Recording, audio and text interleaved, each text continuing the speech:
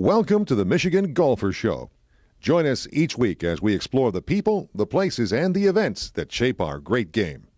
We're going to talk a little bit now about the book that Michael Patrick Shiels helped the American Society of Golf Course Architects create. It's called Secrets of the Great Golf Course Architect. So, Michael, uh, as you recall, I I came to you uh, as president of the American Society of Golf Course Architects at that time, and uh, as president, you're always looking for a project that kind of signifies your presidency. And I've been a golf course architect long enough to know that each day can be so different. Originally, the concept was a day in the life of a golf course architect. And uh, we wanted to go to each architect and say, okay, what was the most memorable day of your career? I mean, what was a really crazy day? Uh, I had the honor of dedicating the book to Bruce Borland, who uh, certainly his most memorable day was the day he went on the flight with Payne Stewart and uh, they were going to look at a site. And of course, you probably know the, the tragedy of that uh, horrific day back in 1999. So uh, I really wanted to honor him on certainly a, a dreadful day in his life as a golf course architect. Tell us a little bit about how you saw the book and some of the fun that you had perhaps interviewing all of these different golf course architect personalities. Well, I was honored that you came back to me again to write a second book, and somewhat surprised.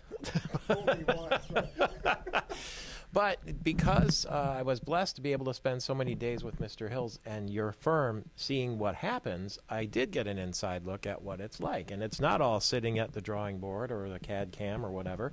I mean, this is, these are human people dealing with clients and builders. And so that to me was very fascinating and to go and I think we have 130 architects, something like that.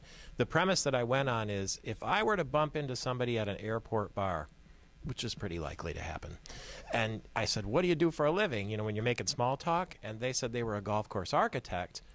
What kind of stories would you tell?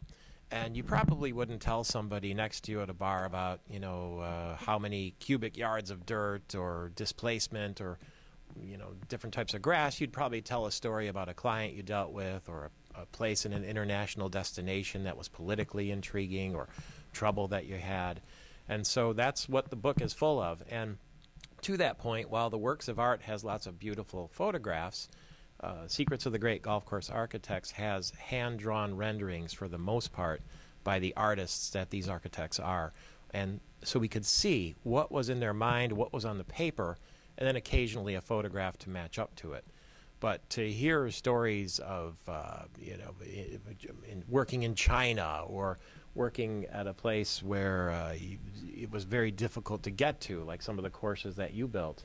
And I'm happy to say I think three of the four pictures on the cover are are your works, if I'm not mistaken. I think at least two of them are. Yes, sir. I see uh, Bay Harbor, uh, the Yes, exactly. Iron Bridge out in Colorado. And I don't know how you built. I mean, that's another one where you're climbing to the top of a, the world to get to. You're mountaineering in a cart to get up to some of those holes. And that was one that Art was involved in. What are your recollections of Iron Bridge out in Colorado?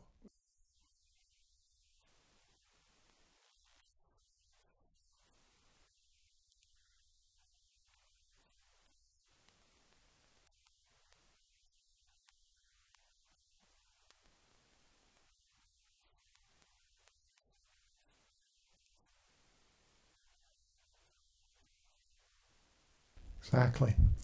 Well, Michael, uh, we'll wrap up this session. We uh, really have appreciated the relationship that we've had, and we hope to continue it in in uh, years to come. Uh, again, best wishes with your radio career.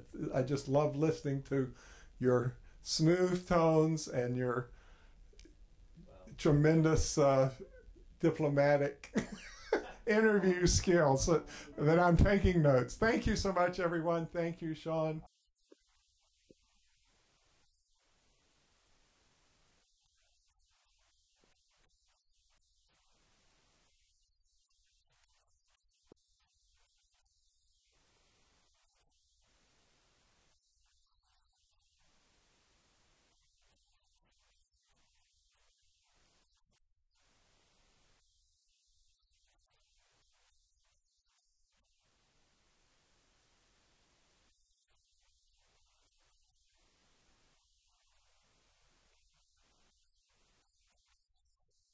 I was his producer, and and he changed my life as a young person, and you changed my life, and you, Steve, as a young person too. And I'm in, I'm grateful to you forever. I love you both.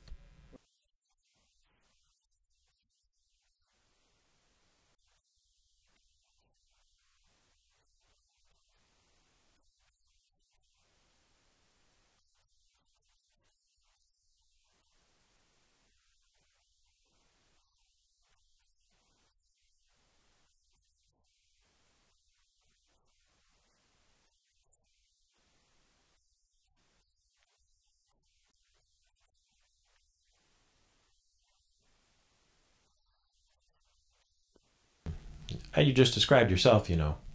You're a Hall of Famer too. Gentlemen, thank you very much.